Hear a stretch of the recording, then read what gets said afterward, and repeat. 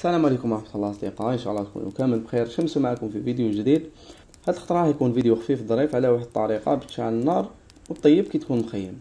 يسموها النار السويدية. Swedish fire تابعوا معنا الفيديو حتى الأخر باش تعرفوا الطريقة وإن شاء الله تعجبكم خوتي.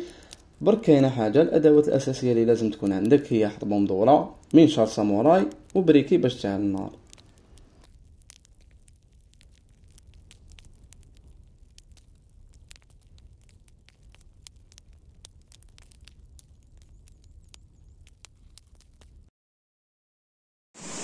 بون الخوار راح نخدموا هذيك النار السويدية. تاع هذه تفتحها اربعه فتحات ولا ستة.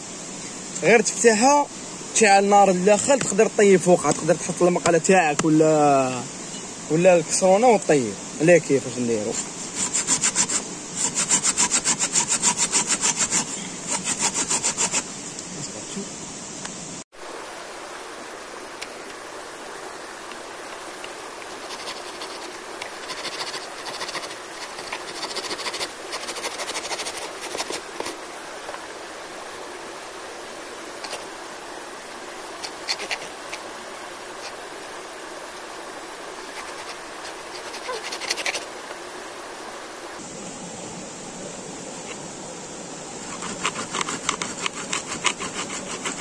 كما راكم تشوفوا هنايا قسمت الحطبة على أربع فتحات والفتحات هذوك بديت نعرض فيهم بشوية باش يكون كاين داخل الأكسجين ويشد فيهم النار.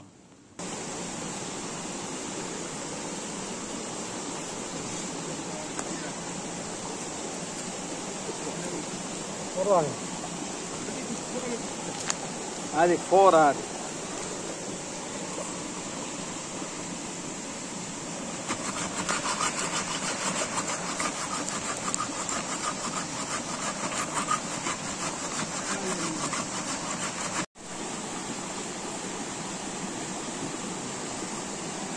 كمان تطفى النار تنفس عليها. خلاص صافي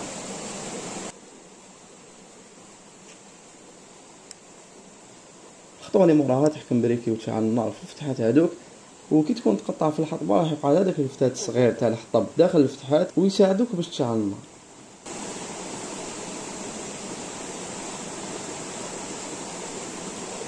إيه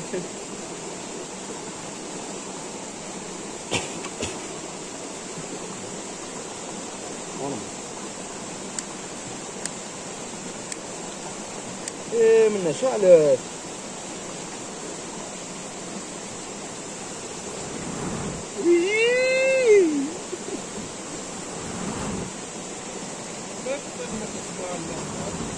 وقفت وقفت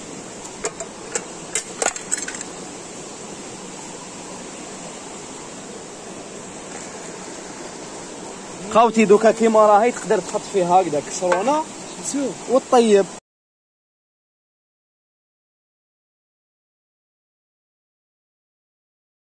لا هاي الجمر منه.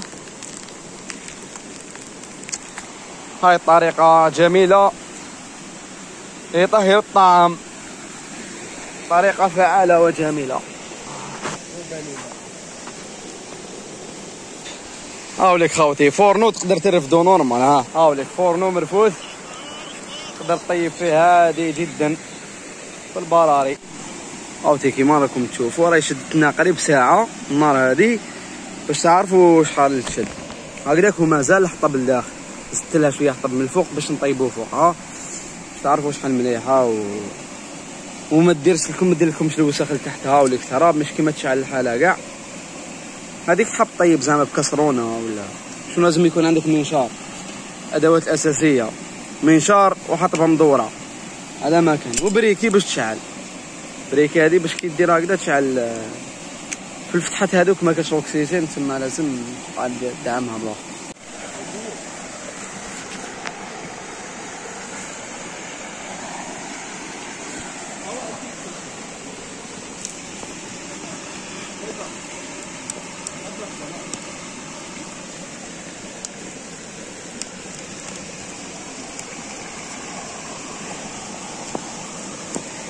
وفي الاخير تقدر تطيب فيها نورمال وحنا جربناها ونجحت لنا باش ما نطولش عليكم خوتي. كان فيديو خفيف وإن شاء الله يعجبكم. ما تنساش تخلي جامل على الفيديو أنا نقول لكم تهلاو في روحتكم ونتلاقاو في الفيديو الجاي إن شاء الله.